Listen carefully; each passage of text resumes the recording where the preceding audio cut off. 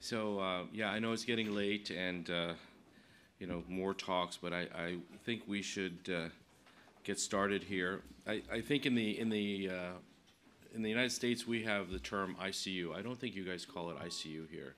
You do call it ICU? Okay. Well, of course we know that's a euphemism for uh, the intensive complication unit. So it's I think important to. I mean, I teach my fellows that what you really want to do is stop the complications.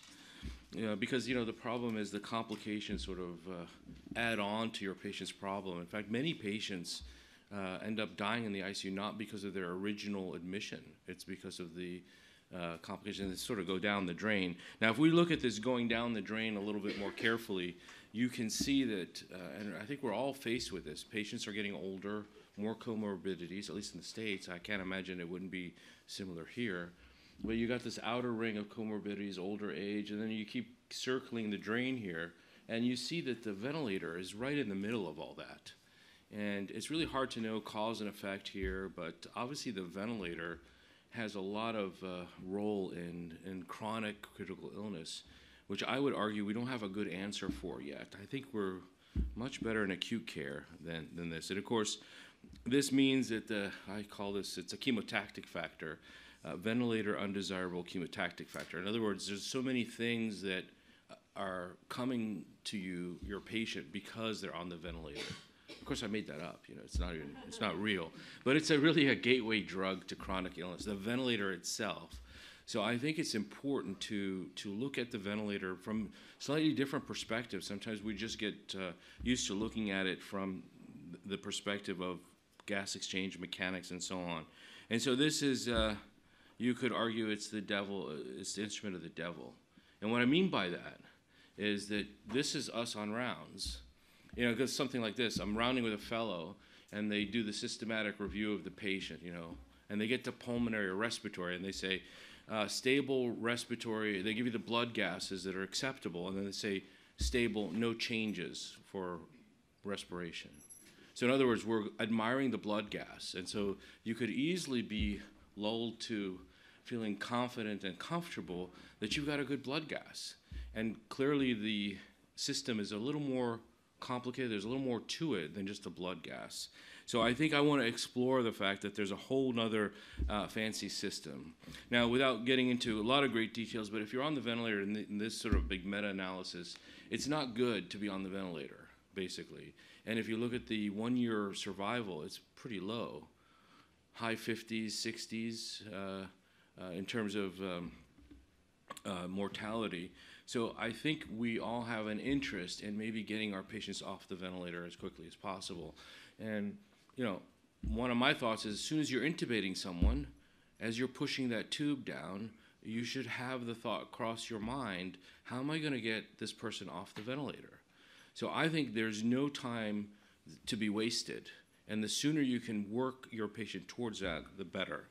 Now, obviously, there's a lot of things involved that we do in the ICU. We don't necessarily give people good nutrition, and there's obviously sedation.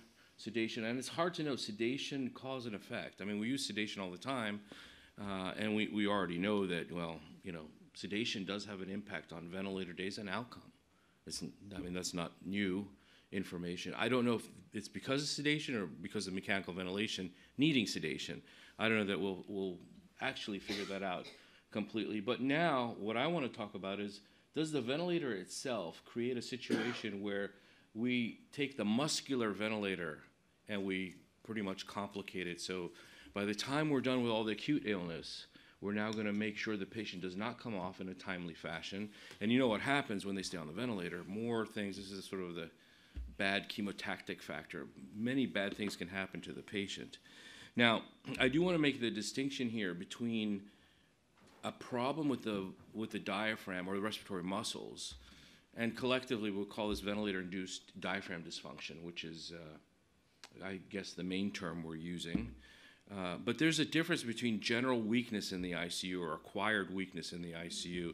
And if you just look at it, uh, well, this is obviously busy, but let's just look at this. If you look at the final 76 patients in this study, uh, the ones that had diaphragm dysfunction versus no diaphragm, the majority of them did not have ICU associated weakness. So this was almost uh, essentially um, uh, patients who have diaphragmatic dysfunction. And over on this side, the ones without diaphragm dysfunction, well, many of them did not have that. So it seems like it, this could be two separate things. And based on the way the muscles, uh, the diaphragm, even though it is a skeletal muscle, it sort of has a slightly different purpose than, say, conventional skeletal muscle. And maybe there's a breakdown that occurs much more rapidly in those muscles. Uh, and you can see that uh, that did translate into weaning, and see the ones that had diaphragm dysfunction definitely had prolonged weaning, difficult weaning, versus how much they had, had simple weaning than just sort of general ICU weakness. Now, just a quick uh, history, a review on ventilator-induced diaphragm dysfunction. Again, I would say this is something that uh, it's still not fully mature, so everything I'm saying is kind of giving you a, an overview. And then there's a lot of interplay with what we do on a daily basis. But very quickly, the, the first, this is a human study. This was kind of first noted in a neonatal population. And then we had sort of laboratory investigations about diaphragm weakness. And here you could elaborate more on the biochemistry and trying to understand what happens with mechanical ventilation. And eventually we got to 2008, and I don't know if you recall this, this was a study done in brain dead donors. Uh, and they looked at their muscles versus someone not. And that was kind of important. They looked at various things. And now we're sort of, obviously, this goes to 2013. There's been some additional data. Uh, and anytime you see a graph like this, you know, maybe we should start reading about it because the literature is going up. So more and more things are likely to come out of this area, uh, just simply because of the, how impactful the ventilator is on everything. ICU days, your morbidity, mortality. Um, now, this is kind of normal. This is the reference point, and you can you start with cross-sectional areas. I mean, that's basically how this started. Was the observation of cross-sectional area of the diaphragm muscle fibers are less. Here's the human study, similarly showing that, and then there's the diaphragm thickness, which you know, uh, the correlation and the actual pressure the diaphragm can generate. None of this is exactly perfect, but there seems to be a correlation with all of this. And as you can see here, um, you have a, a, decline in the force that you can generate and the twitch pressure. This is pressure at the airway and at maximal stimulation to see how much the uh, pressure changes.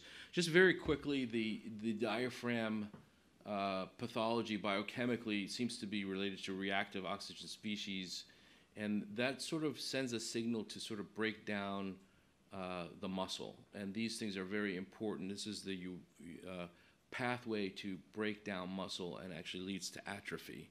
And this happens very quickly.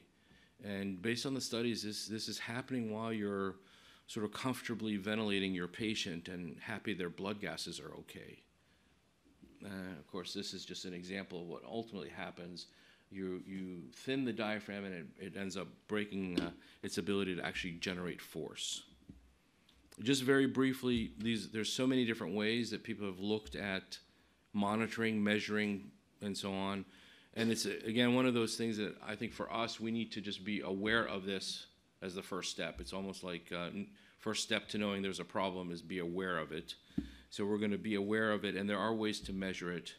Um, and some of these are, uh, you know, probably the most popular one, at least in the states, currently is, is ultrasound and looking at diaphragm thickness.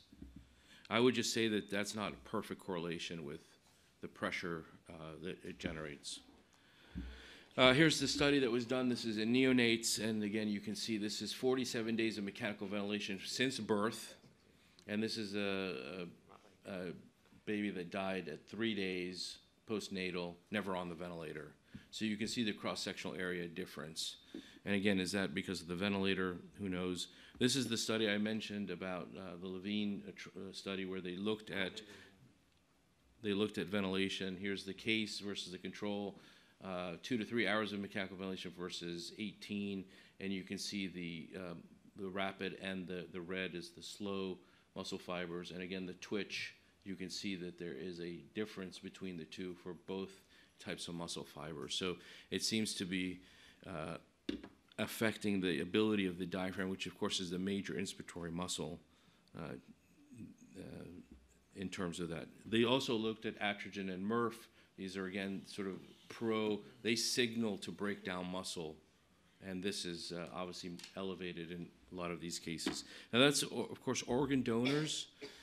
Always a question whether there's something about organ donation, brain injury, who knows, uh, that uh, would affect this. So this study, I think, is important because this is just critically ill patients. So this is a human study, critically ill, and they pretty much found the same exact thing, that you have uh, the control group, the critically ill. This is sort of uh, staining so that you can see the blue is sort of the fast muscle, muscle fibers. Uh, you also have the same sort of translation in terms of the force generated. What they also found was some infiltration, which over here is showing almost an inflammatory response in the diaphragm. In other words, neutrophils are increased in versus control. So that's kind of an interesting thing. This is also looking at uh, other skeletal muscle, so non-respiratory in the same patients, and you can see there's really no change. So again, there's something about the respiratory muscles that sort of makes them decline at a rate that's probably three times more than skeletal muscle, you know, limb muscle. Uh, some people look at the pec muscle.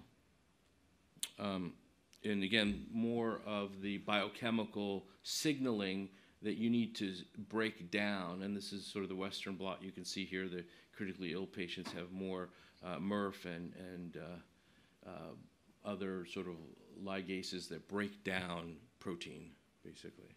They target them for breakdown. The force, again, in this study, very similar. So it seems as though there's some pathophysiology that's occurring uh, related to, to perhaps the ventilator, maybe to intensive care in general, but trying to sort that out. Now, this study looked at outcome, and this is a, whoops, a more recent trial, 2018. But here, they, they did this by ultrasound, and they found that as the diaphragm thins, it thins every day, day one of mechanical ventilation, all the way down to uh, where they looked for four days, and they correlated that with uh, uh, increased uh, longer time on the ventilator and outcome. And this is what they found was kind of interesting. Uh, your ability to extubate the patient goes down as the diaphragm thins and goes up as it stays normal, no change. And then, of course, as it thickens, which is kind of interesting, also similarly you had a problem. Now, why does the diaphragm thicken? Not really sure, but maybe there's an inflammatory response, and certainly there more and more people are documenting an, uh, inflammatory reaction in the, in the muscle from the breakdown from reactive oxygen species and so on. If you look at some of the studies, uh, you know, this is a summary. I wouldn't, um, again, the data, we're not talking about huge amounts of data yet, uh, but it's a problem that if, if they're anywhere near these numbers, it's something we need to be aware of. If people are developing uh, dysfunction, uh, 64% within 24 hours, 80 during their course of their stay, and of course, there's more and more data suggesting this is what happens. Remember, this is still the major inspiratory muscle that uh, occurs. So parking someone on the ventilator may not be a good idea. Admiring and finding comfort in their blood gas on a daily basis may not be a good idea. Maybe we need to do something more. Um, you know, we talked about this, which is basically over assistance. That's what I mean by watching the patient. It's actually they're not ventilating; they're just being inflated and deflated, perhaps, with what a machine does. Human breathing is a little more sophisticated, uh, but they're not really doing anything. But um, there's under assistance also. In other words, what if we don't have the ventilator set correctly, and now the patients are, you know, have a lot of effort? Remember that we always uh, we look at the blood gas, we look at the ventilator. At some point, we have to get back to looking at the patient, and of course, there's a lot underneath. It's like the iceberg. There's so much in the respiratory system that is far beyond that that we have to worry about these patients. And then we have this uh, ability to having ventilators that are not are off sync. So we've got a muscular ventilator and we've got a, a ventilator that's driven by electricity. So they may not always uh, work well together, and you may have eccentric uh, myotrauma, which the patient is exhaling, uh, the diaphragm is relaxing, and you get an inspiration, for example. But obviously, any triggering asynchrony could lead to some uh, disjointed interaction between the ventilators that you have in the room, two ventilators in the room. And of course, there's this idea that you can stretch the muscles by having higher PEEP and then dropping the PEEP rapidly. So there's some data on that as well. Again, this is sort of experimental. Um, so, but what do we do? What do we do? I mean, on one hand, I should go to the ICU and stop sedating everyone and let everyone just breathe. Because maybe we should let them use their muscles to breathe. Maybe we'd stop all the atrophy we did that. Um, or, and that would probably solve the problem of over assisting the patients. But then we have this problem over here. If we don't support them enough, they're going to have excessive worker breathing, and we're back into the same place again. So we're this is really not solvable by just simply doing the extremes of oversedating people or stopping everything. And of course, that's always easy. Of course, the harder thing is to figure out the right thing to do, which I don't know what the right thing to do is, but we can look at some of the information that's out there. And what we do know is that pressure support's a common way to address this uh, or AS, ASV, right, uh, is common because it's a spontaneous mode of ventilation. I would argue it's only triggered by the patient, and the rest of it is, has nothing to do with human breathing at all. And uh, if you look, it's not any different uh, in terms of the diaphragm function. After these are hours of ventilation. This is done with a rat. Rat models seem to be the best in terms of they just are closely matched to the way the human diaphragm works. I don't know why that is, but uh, so you can see that with pressure support, it's not much better than conventional controlled ventilation. So if you want people to breathe, maybe pressure support isn't the ex example you want. Now, if you do unassisted breathing or CPAP, remember CPAP is, is essentially breathing at a different platform. Uh, it doesn't seem to be one day of uh, CMV three days versus one day versus three days of CPAP, and here's control. So it seems to mitigate this. And actually, some newer uh, studies suggest you don't have to have them fully breathing, that you need some partial degree. Exactly how much, not really clear, but you need some kind of partial uh, use of the muscular ventilator to keep this from happening. And again, this is just more uh, information about the force generated by the diaphragm over time. This is a, a recent paper, and it was again these are not injured lungs so you know i think that changes things also. But let's just look at uh, maintenance of spontaneous breathing. So they're using pressure control here and what they're doing is they're changing how much pressure control. So 100% pressure control or setting pressure control with no support. So zero. And as you can see here that over time the cross-sectional area obviously uh, changes and you can see that if you use no pressure control versus 20%, 40%. Obviously, the worse in terms of cross-sectional areas if you completely control ventilation. And in a similar fashion, they looked at the pressure generated by the diaphragm, the P max, and the ratio of the two, and you can see just generally a trend that the more you're controlling ventilation versus not ventilating the patient or supporting the patient, letting them use their muscular ventilator, the uh, the better it is. And in terms of the breakdown of muscle, the things that sort of tag the muscles to, to undergo atrophy and autophagia, uh, the levels go up with this. And so that's obviously clear. We just need to put everyone on CPAP. Uh, well, the problem is, of course, we have this problem. I mean, again, sedation. Why do we use sedation? This is all sort of the bad things that come along with the ventilator. It's got a lot of bad friends, let's put it that way. And so this is still a problem. In fact, I would argue that we see this a lot. Uh, I know that when I come into the ICU many times, the patient, everyone's happy that the SATs are okay. But I look at the patient, I'm going, is the patient been breathing like this? How long has the patient been breathing like this? And you see they just look terrible. They're using obvious uh, muscles of distress and so on. So this is a big problem, and it's an unrecognized problem, certainly. Um, so we need we need a better understanding what to do here. But I don't think we're at the point where we can just cover all this up with just sedation and paralytics because we'll pay for it later. So that's currently what we do. We conform the patient to our ventilator. You know, here's the settings you get. You don't like it, I'm going to paralyze you, basically. And hopefully, I've sedated you also. Uh, but we need to think about it a little bit more. Now, again, I'm not pretending that I have any answers here, but there's probably a few things we can at least think about. Um, and in fact, I would just say that um, we're now seeing, you know, PTSD, and this is one of the big problems: is you can't breathe. It's one of the most invoking things of sort of fear, terror, anxiety, is not being able to breathe. So if we look at sort of this dyspnea problem, uh, it happens a lot and seems to occur a lot in assist control, which is a very common mode, certainly in the United States. Uh, low tidal volume, I mean, just naturally dyspnea. The counter to dyspnea is taking big breaths. That's what people do when they feel dyspnea. That's the normal reaction to it. And it's worse than the most breathless exercise you've had in terms of people uh, that are surveyed. Low PEEP has an effect, and you know we can get into why PEEP would be a uh, consideration. And of course, you can certainly flow starve your patient, uh, but you can't give them too much flow either. And so back to the thick diaphragm again, and believe me, I am not saying that everyone should breathe and we should ignore SILI, whatever that is. I never liked that term, to be honest with you. But anyway, we obviously don't want the patient breathing at all cost, and so on. And so it comes down to, can we make it safer? How do we? It seems as though we need to have the patient engage in, re-engage their their muscular ventilator as soon as possible without hurting them. And so, how do we actually do that?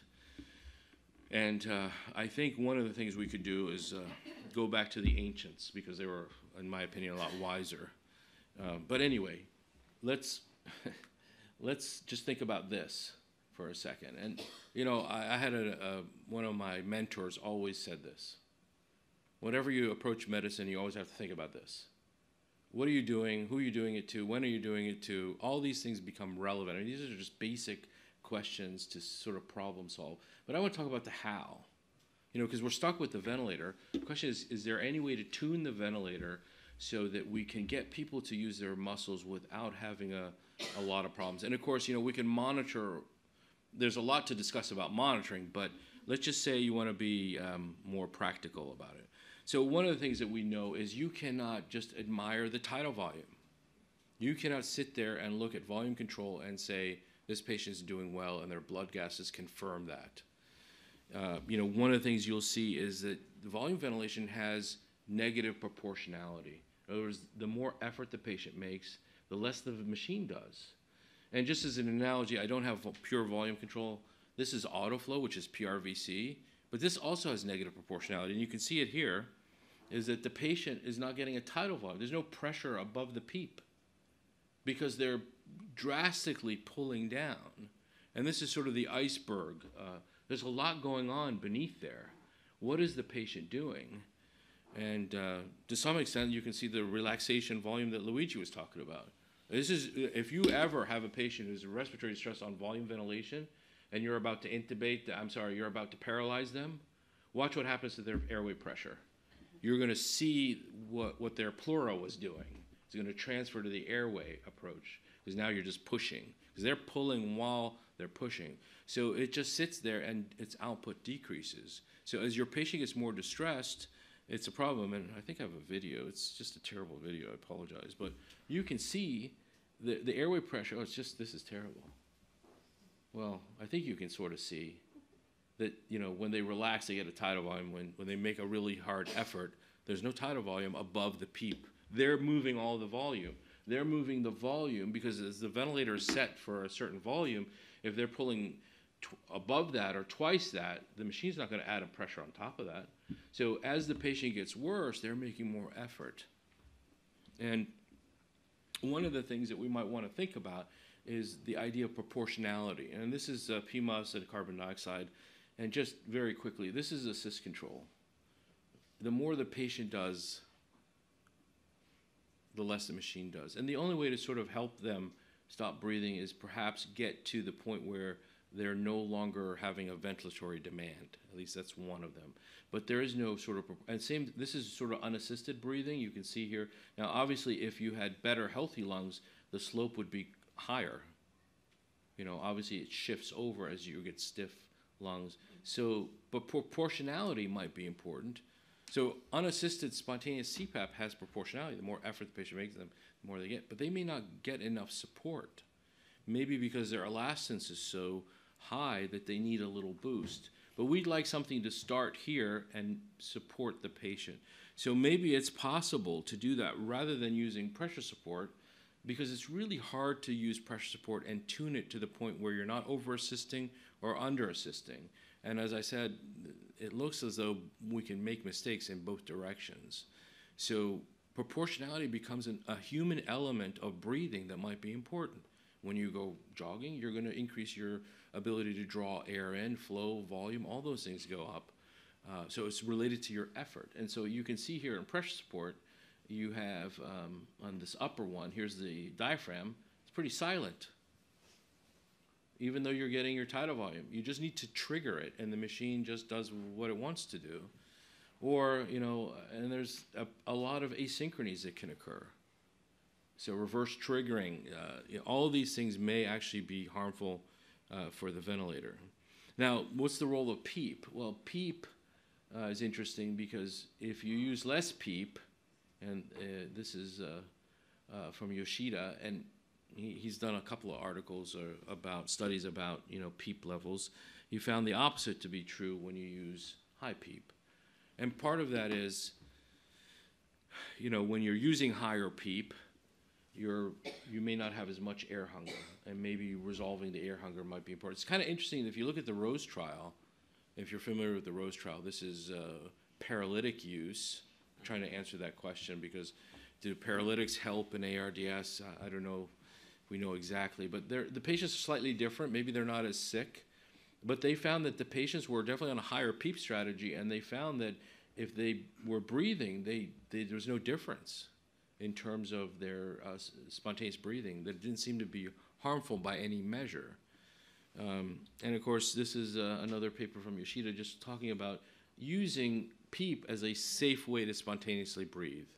Now, again, like anything else, you can use too much PEEP, you can use too little PEEP. That's a whole nother discussion how to figure that out.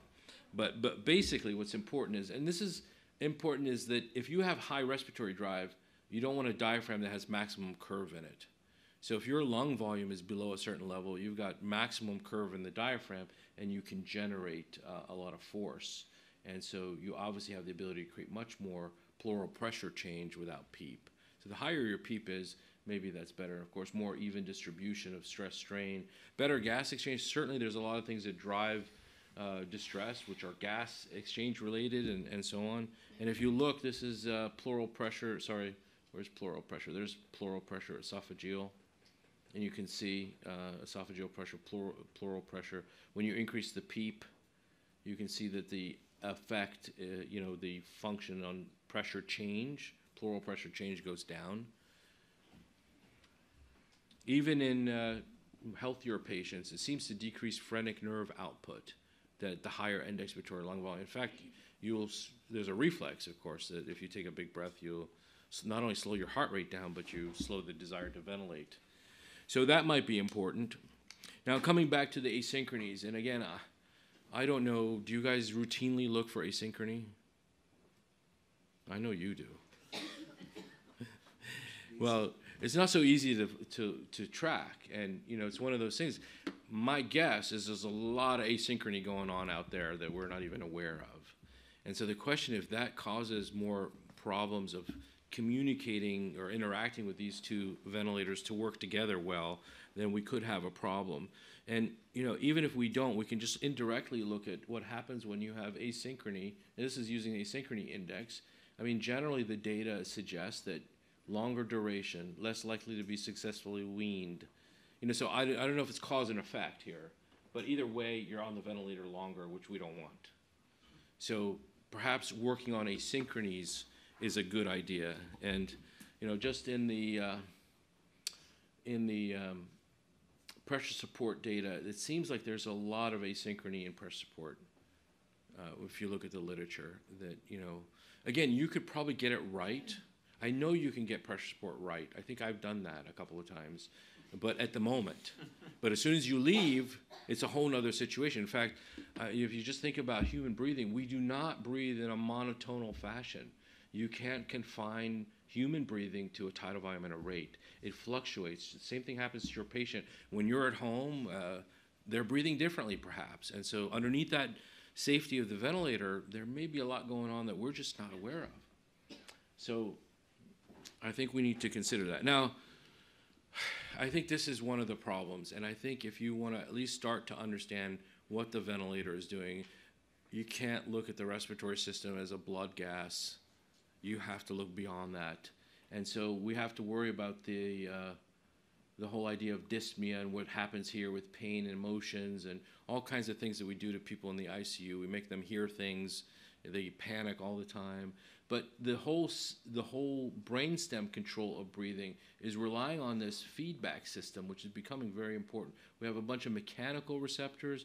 Of course, we have chemical receptors, hydrogen, obviously oxygen, and, and CO2. All these things are feeding back to the brainstem. And this is why I think even in our non-invasive discussion this morning, it becomes important to, to understand what is the patient doing. Did they respond to your therapy? Because if they don't, then we can have problems. And of course, we're, we're all the way here. A lot of times we're just talking about this. The equation of, or what was their elastance, their compliance, their PEEP, all that. But all this starts up here, at least when you're talking about breathing.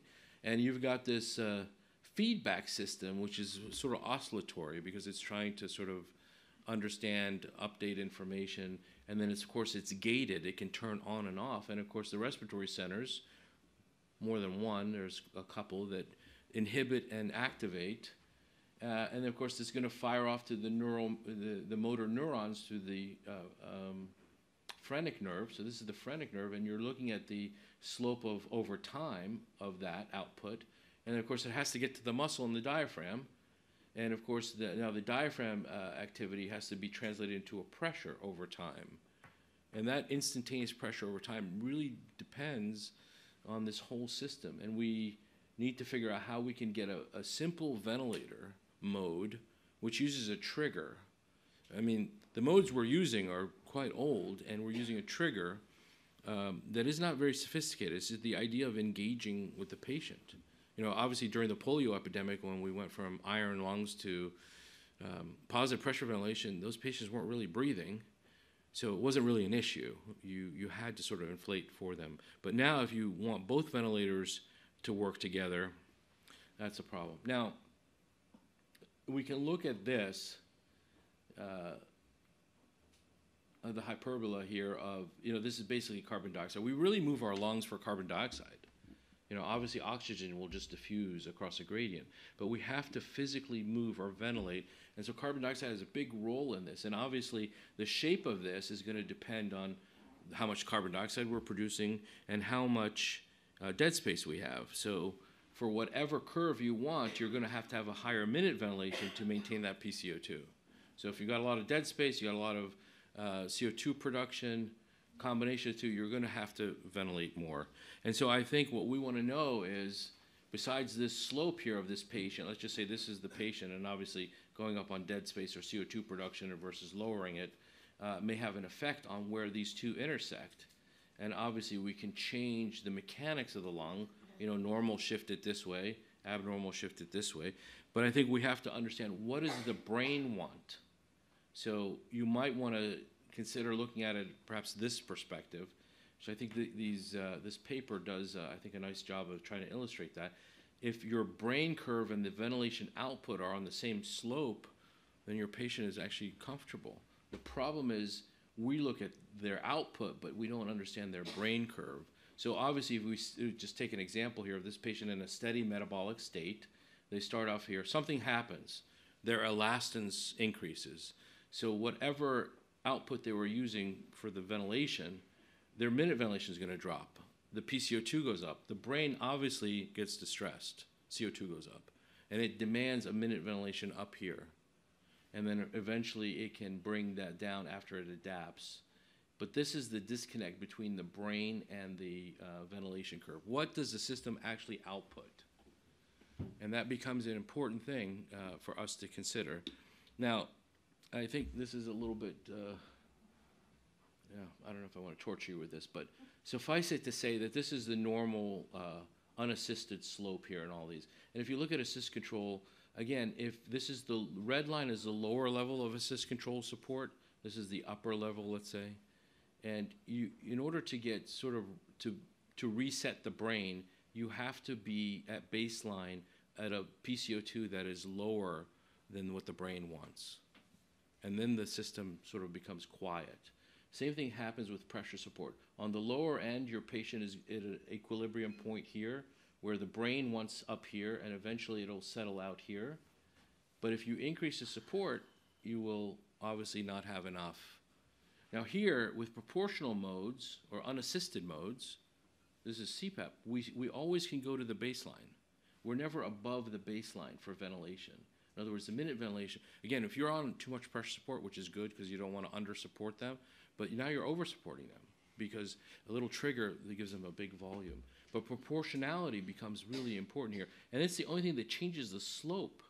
So again, if you if your unassisted effort does this, well, if I amplify your effort, I can move the slope over rather than trying to make you work in parallel or have no proportionality at all. Which leads me to cell phones. okay, cell phones. now, these cell phones, obviously, you wouldn't want this cell phone. You probably want that cell phone. But technology has really changed quite a bit. And for whatever reason, we're still using modes from the 70s and 80s. We're still doing that. I'm not sure why. Everyone loves technology. So I always take the phones away from the fellows when they don't want to use different modes because ventilators are actually less mechanical and more computers. They signal process much faster and so on. So here's a ventilator from went to Siberia. This is from Stalin's era, 1950. You control the, the rate. The tidal volume is fixed by these bellows. That's it. You get a rate knob. so it would be really hard to create a, a sort of synergy between uh, both pumps. Now that's 1950. This is 2019 in someone's garage. Actually, this is 2019 in, in a engineer at Northrop Grumman. We, uh, the DoD contacted us to build a ventilator during COVID, and this is the ventilator we built because we were supposed to make 8,000 of these in a month. And uh, you can see this just goes up and down. There's a piston here. Uh, the, the, the RFP was it had to be 300 US. You had to make it with stuff from Home Depot, US dollars. U, US dollars. Uh, you could not source anything from China. So that was sort of what we tried. And we actually ventilated a sick, full pig uh, with severe ARDS on this ventilator. There's just water here. It's just valves, you know, water. It's just the transport ventilator. Yeah, you can say that. but now, of course, we were desperate at COVID and thought, you know, everything was going to, but you would never want to breathe on something like this. I mean, this would be horrific. It's a piston that doesn't care about anything, it just moves back and forth at some cycle. So, what we do know about proportional modes, and again, I, I can only talk about PAV only because I use it. I can't talk about NAVA in the sense that I've never really used it. I read about it, but I've never really used it. But it doesn't really matter the PAV NAVA thing. It's really more of its proportionality and our ability to use proportionality because technically the the ventilator is far more it's just a better device. It can interact with the patient better. We're, we're leveraging the technology that's in the ventilator rather than being stuck on modes where the fanciest thing was a trigger. The idea of a trigger during microprocessing times of the ventilator.